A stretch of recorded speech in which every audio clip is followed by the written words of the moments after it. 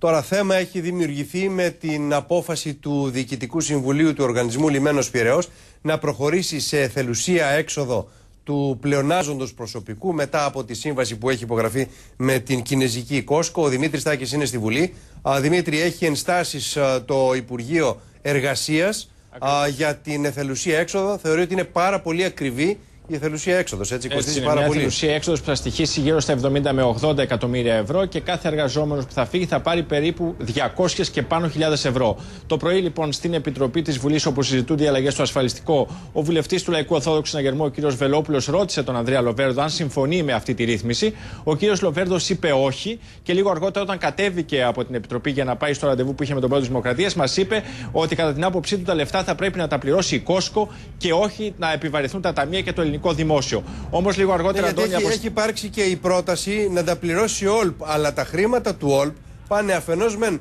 στους ο, μετόχους του, που είναι κατά κύριο λόγο το ελληνικό δημόσιο. Ασφαλώς.